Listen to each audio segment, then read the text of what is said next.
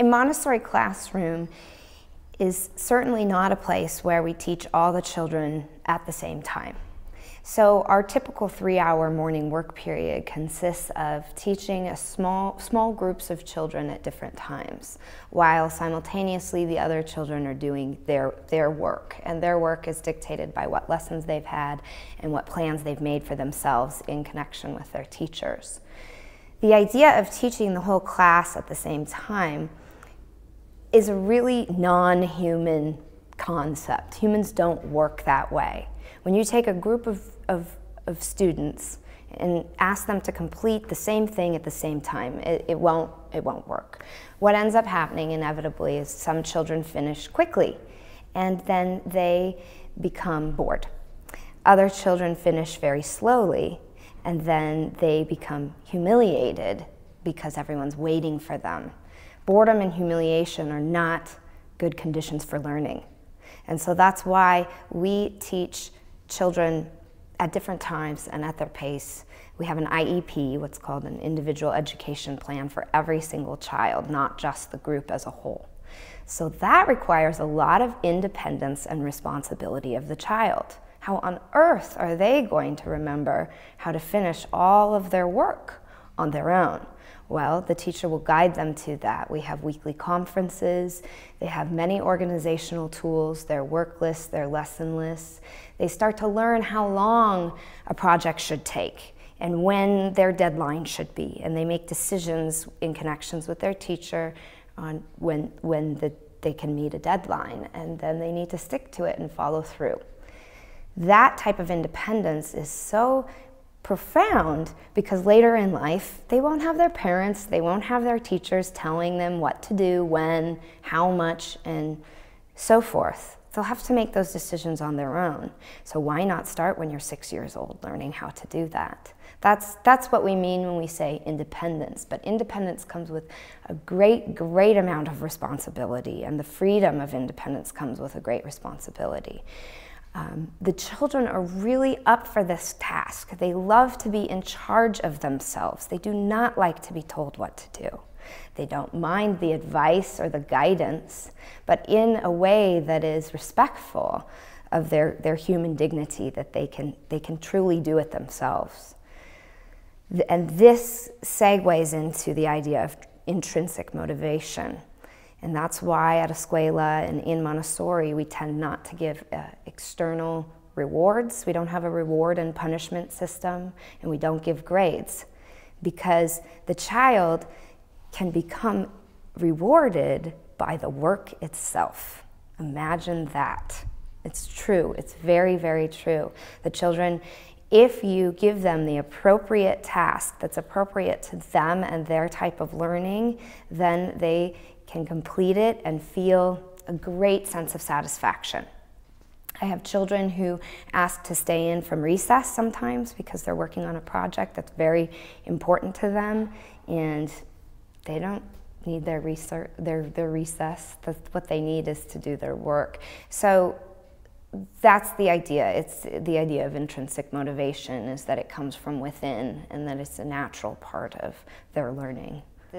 You think back to your own school experience and your own, your own past, and the things that you remember guaranteed are going to be those really special book reports you did, or that really special project that maybe you chose to do yourself, or some, some sort of creative process that meant something to you, that was different than the standard worksheet or direction that you were given from your teacher. So our job is to present the concepts. We have to present the concepts in every subject area on everything that they need to know in life and then we ask them to explore the concept. And they have materials they can use and then their own creativity. But they have to okay it with us first. They have to negotiate with us and learn how to compromise and make a decision that's upon a work that's appropriate in exploring these concepts. For example i have a group of students who are learning about quadrilaterals right and the way that I start is I teach them what a quadrilateral is, and they learn the language. They learn that in Greek, quad means four and lateral means sides. And so then we look at rectangles, squares, parallelograms, rhombi, and trapezoids. Great, who cares, really? But the way to help them care is to say we're going to explore these quadrilaterals. Let's explore them. How can we explore them? We have quadrilaterals all over the room. Go find them. Go find all the quadrilaterals you can. So what the kids did is they took every shape, every item in the room that had a quadrilateral shape to it and piled it in the middle of the room in, in, in a way that was okay. It wasn't a disaster. And then the next step was let's do a creative project. And so I had, for example, two children decide to make a 14 foot scroll. And they made a scroll of designs with quadrilaterals. And the goal here is that after a while, they will finish their scroll after an acceptable amount of time, let's say a week of working on it a little bit every day.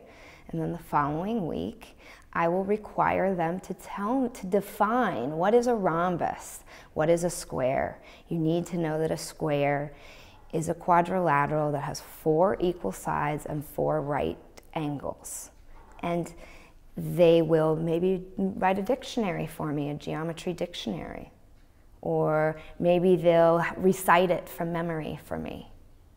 And then we'll be done with quadrilaterals. But guaranteed, going from first introducing the concept to that long scroll and that amazing project that they were so excited about to the final arrival of memorizing the concept, they will know that for the rest of their lives. Here at Escuela, we have mixed age classrooms. So for example, the junior elementary classrooms have ages six to nine in the class. So that's first, second, and third grade together. And then when they go on to the senior elementary, it's fourth, fifth, and sixth together as well.